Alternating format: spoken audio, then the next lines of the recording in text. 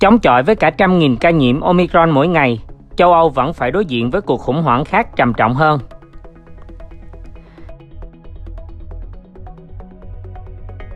Châu Âu đang chuẩn bị chứng kiến tình trạng thiếu hụt năng lượng trong tuần này do thời tiết lạnh giá sẽ thúc đẩy nhu cầu vào đúng thời điểm nguồn cung không thể bắt kịp. Tuần này, nhiệt độ ở một số thủ đô ở châu Âu được dự báo sẽ giảm xuống dưới 0 độ C. Do đó, mạng lưới điện đang căng thẳng, phải đối mặt với tốc độ gió thấp và sự cố mất điện hạt nhân nghiêm trọng ở Pháp càng gặp nhiều khó khăn. Vấn đề trở nên trầm trọng hơn khi Nga mới đây báo hiệu rằng họ có ý định hạn chế dòng chảy khí đốt tự nhiên qua một tuyến trung chuyển chính đến Đức sau khi đã giới hạn nguồn cung vào cuối tuần trước. Trong năm nay, giá năng lượng đã tăng vọt tầm kiểm soát khi khí đốt ở châu Âu tăng khoảng 600%. Khi nhiệt độ được dự báo sẽ giảm xuống mức thấp so với mùa lạnh thông thường vào đầu tuần này, thì giá điện trong ngắn hạn cũng tăng mạnh. Tại Pháp, giá điện đã lên mức cao nhất kể từ khi ghi nhận mức tăng đột biến hiếm thấy vào năm 2009. Trong khi đó, giá điện ở đất cao ở mức thứ ba trong kỷ lục. Giá cả tăng cao đã thúc đẩy lạm phát và là một nỗi đau đầu của các nhà hoạch định chính sách, vốn đang phải ứng phó với sự lây lan của biến thể Omicron ngay trước kỳ nghỉ lễ. Căng thẳng địa chính trị giữa Nga và Ukraine cũng có thể khiến vấn đề trở nên tồi tệ hơn. Jeremy Well, CEO của công ty giao dịch hàng hóa Trafigura Group, hồi tháng trước đã cảnh báo rằng châu Âu có thể rơi vào tình trạng mất điện liên tục khi mùa đông lạnh giá đến. Sau đó, Electricity de France SA cho biết họ đang dừng hoạt động các lò phản ứng vốn chiếm 10% công suất điện hạt nhân của quốc gia này. Do đó, Pháp phải hứng chịu sự ảnh hưởng của thời tiết vào đúng thời gian cao điểm của mùa đông là tháng 1 và tháng 2. Với việc công suất điện hạt nhân sụt giảm, các nhà sản xuất điện sẽ phải sử dụng nhiều khí đốt hơn để duy trì hoạt động của mạng lưới điện. Tuy nhiên, Nga đã báo hiệu rằng họ có thể giới hạn dòng chảy năng lượng đến đất qua đường ống Saman châu Âu. Điều này có khả năng khiến châu Âu buộc phải sử dụng lượng khí tồn kho vốn đã cạn kiệt. Các khu lưu trữ hiện chỉ có tỷ lệ lắp đầy là 60%, mức thấp kỷ lục cho đến thời điểm này trong năm. Trong các cuộc đấu giá vào hôm Chủ nhật, chỉ 4% công suất được phân bổ để đi qua Belarus và Ba Lan đến Mano của Đức. Trong khi đó, công suất Nga thực hiện trong hầu hết các ngày ở tháng này là 35%. Nga cũng từ chối đặt thêm các đường ống để chuyển thêm khí đốt qua Ukraine vào thứ hai. Tập đoàn khí đốt Gazprom của Nga sẽ thực hiện thay đổi cuối cùng để tăng công suất dự trữ trong cuộc đấu giá trong ngày, có khả năng sẽ ngăn chặn được cuộc khủng hoảng hiện tại. Giá cả tăng vọt ở châu Âu buộc các nhà máy luyện kim loại và sản xuất phân bón phải hạn chế sản lượng, có nguy cơ kéo tục đà hồi phục kinh tế của khu vực. Dù các trader kỳ vọng rằng lượng khí đốt tự nhiên hóa lỏng tăng trong thời gian tới có thể sẽ xoa dịu tình hình do nhu cầu ở châu Á giảm. Nhưng việc chuyển hướng vận chuyển sẽ mất một thời gian và lượng hàng hóa đến các nước ở châu Âu khó có thể kịp trước tháng 1. Trong khi đó, đại dịch Covid-19 ở châu Âu vẫn diễn biến rất căng thẳng. Anh hiện ghi nhận hơn 90.000 ca nhiễm biến thể Omicron trong mỗi ngày. Trong khi đó, Thủ tướng Hà Lan Mark Rutte ngày 18 tháng 12 đã ban bố lệnh tái phong tỏa toàn quốc để kiểm soát tốc độ lây lan của Omicron. Pháp, Cyprus và Áo cũng đã lệnh thắt chặt hoạt động di chuyển do lo ngại liên quan đến biến thể này. Paris mới đây buộc phải hủy kế hoạch bắn pháo hoa mừng năm mới, còn Đan Mạch đóng cửa rạp chiếu phim, nhà hát và bảo tàng. Giá năng lượng cao gây ra nhiều tác động lớn đối với nền kinh tế trong khu vực. Ngân hàng Trung ương châu Âu ECB dự báo lạm phát của khu vực này sẽ lên đến 3,2% trong năm 2022. Tại Anh, tình trạng lạm phát cao kéo dài có thể sẽ thúc đẩy ngân hàng trung ương tiếp tục nâng lãi suất. Fed muốn tăng lãi suất năm sau sẽ có ảnh hưởng như thế nào? Fed đã gửi đi những tín hiệu tương đối rõ ràng về việc cơ quan này sẽ nâng lãi suất trong năm 2022. Lãi suất tại Mỹ được duy trì cận 0% kể từ tháng 3 năm 2020, khi hàng loạt quốc gia trên thế giới cho đóng cửa nền kinh tế nhằm ngăn chặn đà lan rộng của đại dịch do Covid-19 gây ra. Nhưng hôm ngày 15 tháng 12, bên cạnh việc thông báo sẽ sớm kết thúc chương trình mua trái phiếu khẩn cấp, Fed cho biết lãi suất có thể tăng lên 0,9% trong năm 2022.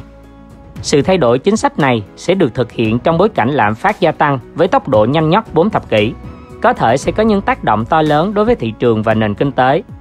Bao Donovan, nhà kinh tế trưởng tại UBS Global Wealth Management, chia sẻ rằng việc phân tách những tác động của quá trình tăng lãi suất của Fed là rất quan trọng. Chi phí đi vay sẽ tăng lên, nhưng vẫn sẽ ở mức thấp. Nếu như bạn nhìn vào chi phí vốn thực tế của nền kinh tế, mức lãi suất đó vẫn rất thấp. Ông cho biết, trước đại dịch, lãi suất mục tiêu của Fed rơi vào khoảng 1,5 đến 1,75%. Con số này là tương đối thấp nếu so với ghi nhận trong quá khứ. Vào cuối năm 2007, thời điểm trước khi cuộc khủng hoảng tài chính diễn ra, lãi suất đã chạm 4,25%.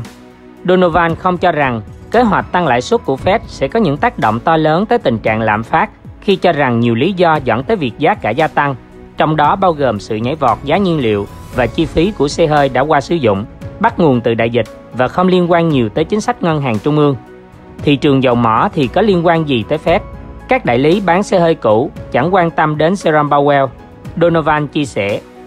Trong ngắn hạn, Fed muốn đảm bảo lãi suất không quá thấp khi quá trình phục hồi nền kinh tế hoàn tất, để nền kinh tế có đủ sức mạnh chống chọi lại các cuộc khủng hoảng khác. Tuy nhiên, điều đó không đồng nghĩa với việc giá cả sẽ tiếp tục leo thang. Donovan cho biết, người Mỹ sử dụng phần lớn khoản tiền tiết kiệm trong khoảng thời gian đại dịch, lạm phát sẽ tự nó giảm mạnh. Ngay cả khi Fed không làm gì cả, lạm phát cũng sẽ đi xuống, ông cho biết. Vậy kế hoạch của Fed có ý nghĩa gì đối với các thị trường? Donovan cho biết, tình hình sẽ khác nếu như Fed muốn nâng lãi suất để kiểm soát tốc độ tăng trưởng của các nền kinh tế. Nhưng đó không phải là điều mà chúng ta thấy ở thời điểm hiện tại. Kế hoạch của Fed thiên về việc tạo điều kiện cho nền kinh tế một khi chúng ta quay trở lại với chu kỳ kinh tế bình thường. Donovan cho biết, Fed đang không thực hiện một chương trình bài xích tăng trưởng. Điều này giúp giảm thiểu xáo trộn đối với các nhà đầu tư với giả thiết biến chủng Omicron hoặc nhiều yếu tố khác không có những ảnh hưởng to lớn tới nền kinh tế. Omicron hoàn toàn có khả năng gây ra những xáo trộn trong ngắn hạn, nhưng tôi không cho rằng nó sẽ không phải là một vấn đề lớn trong dài hạn. Donovan nói, câu chuyện cho năm 2022 sẽ vẫn diễn ra đúng như dự báo. Nhà đầu tư điên cuồng rót tiền, các loại tài sản ảo đón nhận dòng vốn lớn chưa từng thấy hơn 30 tỷ đô la trong một năm. Các quỹ đầu tư mạo hiểm đã đổ khoảng 30 tỷ đô la vào thị trường tiền số, nhiều hơn tất cả các năm trước cộng lại đối với một loại công nghệ chỉ mới khoảng hơn 10 năm tuổi. Theo Bloomberg, năm 2021 là một năm các loại tài sản kỹ thuật số trở thành xu hướng đầu tư chủ đạo. Trên thực tế, các quỹ đầu tư mạo hiểm đã đổ khoảng 30 tỷ đô la vào tiền số, nhiều hơn tất cả các năm trước cộng lại đối với một loại công nghệ chỉ mới khoảng hơn 10 năm tuổi. Dữ liệu được tổng hợp với Bitbook Data cho thấy con số trên đã tăng gấp 4 lần so với mức cao nhất là khoảng 8 tỷ đô la trước đó vào năm 2018. Đây cũng là năm ghi nhận mức tăng đột phá đến 1.300% của Bitcoin. Spencer Borga là thành viên hợp danh của Blockchain Capital LLC, một trong những nhà đầu tư lớn nhất của ngành sau khi rót vốn cho hơn 120 công ty kể từ khi thành lập vào năm 2013. Ông cho biết, chúng tôi đã đi xa hơn khái niệm vàng kỹ thuật số. Chúng tôi có các dịch vụ tài chính, nghệ thuật, game như một danh mục nhỏ của NFT, Web 3.0, truyền thông xã hội phi tập trung, chơi để kiếm tiền Tất cả những điều này đã giúp lĩnh vực tài sản số trở thành địa điểm tiềm năng của các nhà đầu tư. Khi các công ty khác như Coinbase Venture, Digital Currency Group và Polychain Capital đặt cược vào một đồng tiền số lớn tiếp theo, toàn bộ những dự án đang được thử nghiệm đều nhận được nguồn vốn tài trợ. Đó là một ứng dụng truyền thông xã hội biến người nổi tiếng thành token, một trò chơi cho phép người chơi kiếm tiền bằng NFT được lấy cảm hứng từ Elon Musk Nhà phân tích Rob Lee của Bitbook cho hay, nhà đầu tư đang rót vốn cho mọi thứ. Theo Borga, việc những gì được coi là lĩnh vực thích hợp như NFT bất ngờ nổi lên đã cho các nhà đầu tư thấy rằng họ có thể bỏ lỡ bất kỳ điều gì. Song, ông lưu ý rằng thị trường giao dịch NFT không thể thay thế cho các trang thương mại điện tử. Thị trường tài sản kỹ thuật số thu hút 30 tỷ đô la, bao gồm cả các phòng gọi vốn được thực hiện trên Robinhood và Revolut. Đây là các công ty fintech tạo ra doanh thu nhờ các hoạt động liên quan đến từ số. Theo dữ liệu của Bitbook, các giao dịch đầu tư mạo hiểm của Mỹ cũng đã rót khoảng 7,2 tỷ đô la, gấp 4 lần so với mức kỷ lục trước đó vào năm 2018. Ví dụ, sàn giao dịch phái sinh tiền số FTX đã khép lại vòng tài trợ Series B trị giá 1 tỷ đô la vào tháng 7. Nhờ đó, giá trị đã lên đến 18 tỷ đô la.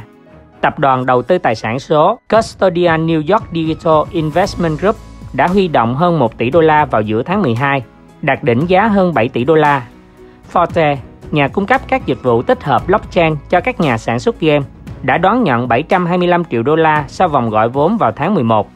Trong khi đó, Dapper Lab, nền tảng NFT đằng sau CryptoKitty, đã huy động được 350 triệu đô la vào tháng 3 từ các nhà đầu tư, có cả huyền thoại bóng rổ Michael Jordan đưa định giá lên 2,5 tỷ đô la. Nhà cung cấp cơ sở hạ tầng thanh toán tiền số Moonpay đã kết thúc vòng gọi vốn tháng 11 với 555 triệu đô la, đẩy định giá lên 3,4 tỷ đô la. Sky Mavis, nhà phát triển của AC Infinity, đã huy động được hơn 150 triệu đô la và ghi nhận mức định giá 3 tỷ đô la vào tháng 10.